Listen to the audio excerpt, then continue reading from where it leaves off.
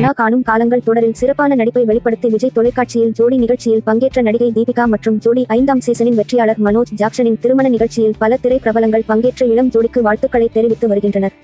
குறிப்பாக கனா காணும் காலங்கள் தொடரில் நடிகர்கள் மற்றும் நண்பர்கள் இந்த அழகிய தருணங்களை ரசிகர்களுக்காக பகிர்ந்துள்ளனர்.